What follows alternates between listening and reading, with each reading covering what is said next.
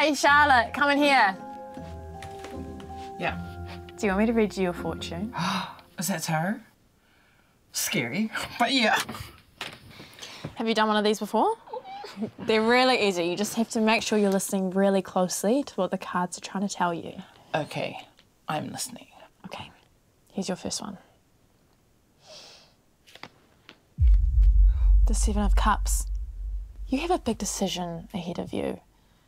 And the Seven of Cups is not to rush it though, you know? Okay, well, I was literally just thinking about what to make for dinner. Oh, what did I say? The cards know everything. Okay. The Knight of Wands. Interesting. So, responsibilities that you've neglected in the past, yeah, they're going to come back to haunt you. Spooky? Hmm. What does that mean? Hmm. Could it maybe be talking about, oh, the dishes? Could it maybe be saying you should do your dishes? Wow. Okay, because I've left a huge pile next to the sink. I never do my dishes. How did it know that? Oh, the spirits. They watch everything. The chariot. So this one's saying that you need to have shorter showers in the morning because you're using all the hot water. Okay. That's too accurate. I love long showers. Oh. I didn't know there was a card for that. So cool. All right.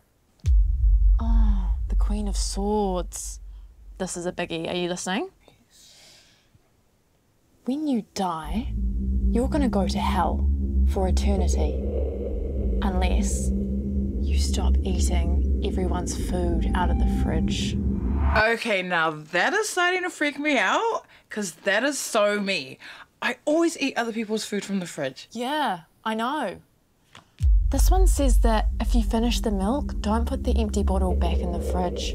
This one says don't use the flat card to pay for your wine. And this one says don't invite your friends around on a Monday at midnight for drinks. And this one's Wait. like, Why are they all the same?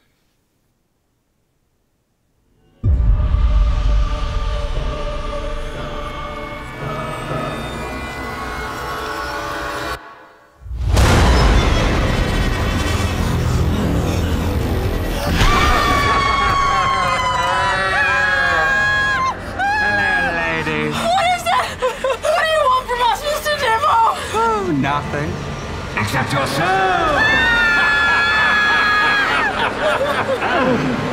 Unless you actually start cleaning the toilet properly when you get bathroom on the chore wheel, because you really actually got to get in there and scrub properly. You can't just squirt and then bugger off. Okay, yes, I promise I'll scrub it. Good. Well, got got more devil business to do, so. Hail Satan.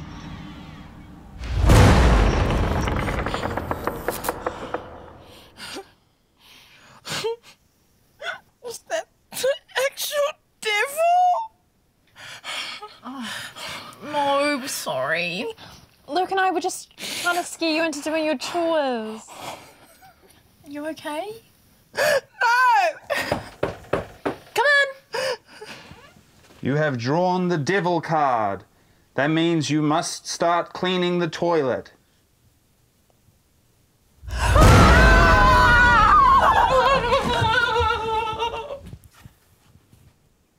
Too scary, I guess. People are always trying to tell you what the future holds, but you don't have to listen to them. Define your own future. Be a visionary. Roll the intro. Citizens Handbook. The Citizens Handbook.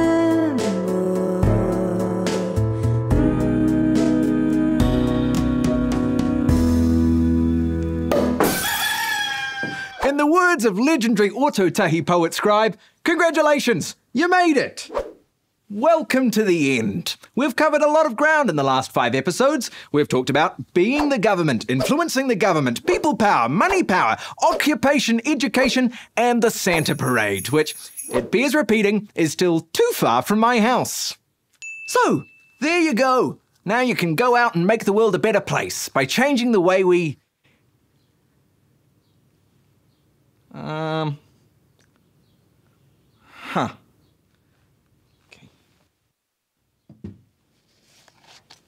So, you know how to do a campaign, but how do you know what to campaign for? What are you actually going to change about the world? How do you figure out what a better world even looks like? Let's check the big book. Once upon a time in 1975, a sprightly 23 year old called Marilyn Waring got elected to Parliament. When she arrived, she was like, Wow, Parliament sure seems to be mostly dudes. I wonder if that's caused any problems in society. I guess we'll wait and see. After three terms, she left Parliament and went back to uni to study political economics. At uni, she read a few textbooks and went, Wow, economics sure seems to be mostly about dudes. Why is no one talking about all the unpaid work that women do, like childcare? And someone said, Why don't you write a book about it? And she went, Okay, I will. And she did. That book was called Counting for Nothing, and it's all about how the main measure of economies, GDP, really sucks. Her book said stuff like, if all you're measuring is money, then crashing an oil tanker into an iceberg is awesome for your economy, because you'll spend so much money cleaning it up. And also, if you don't get paid for your work, then as far as the government's concerned, it doesn't even exist and you don't matter. When her book came out, it made a big splash. Feminists around the world were like, she's right, women's work is undervalued. And economists around the world were like, hmm.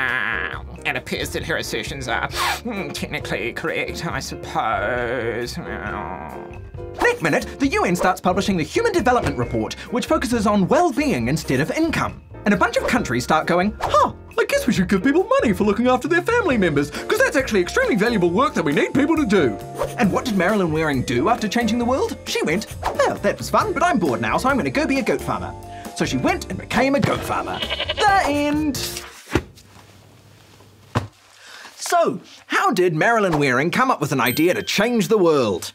The short answer is she went to uni to study economics. But the slightly longer, more helpful answer is she went to uni to study economics and brought with her something very important a healthy packed lunch. No, that was, just a joke. Uh, she brought her very own unique set of experiences, values, and perspectives. Her time in Parliament gave her a strong feminist bent that the complicated yet boring field of economics desperately needed. By taking a feminist lens to economics, she found a missing piece of the puzzle. All she had to do was tell people about it in a book, and the governments and activists took it from there. Her contribution was just what third wave feminism needed. No one in the movement had ever had such an up close and personal experience of government accounts, so counting for nothing was just the breakthrough they needed.